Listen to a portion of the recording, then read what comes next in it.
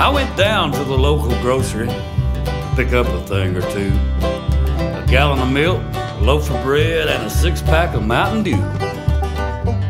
Well, I got the milk and the Mountain Dew, and when I got to the bakery aisle, I just rolled that shopping cart to a stop and stood there with a smile.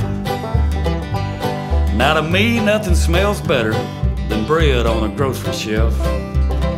Makes me want to grab a loaf right there and help myself. But I used my better judgment, started squeezing the loaves instead. I began that frantic search to find the freshest loaf of bread.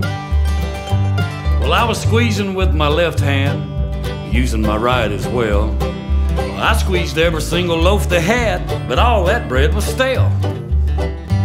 So I looked down at the wrapper and printed right there in red were the words made in China, thanks for buying Soon Ping bread. It's the end of the world as we know it. You can't buy fresh loaf bread anymore. It's the end of the world as we know it. Selling loaf bread made in China at the local grocery store.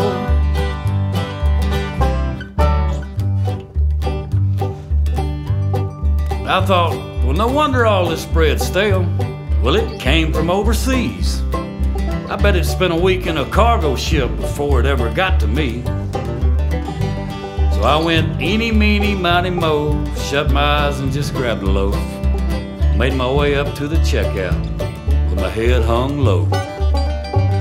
Well, I paid for the milk and the Mountain Dew and that old stale loaf of bread.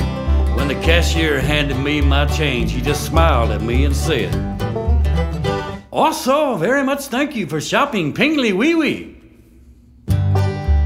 Pingly Wee Wee? I must be in the wrong store.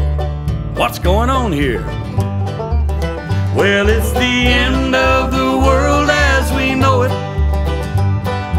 You can't buy fresh loaf bread anymore. It's the end of the world as we know it. When China owns the local grocery store. It's the end of You can't buy fresh loaf bread anymore. It's the end of the world as we know it. When China owns the local grocery store. When China owns the local grocery store.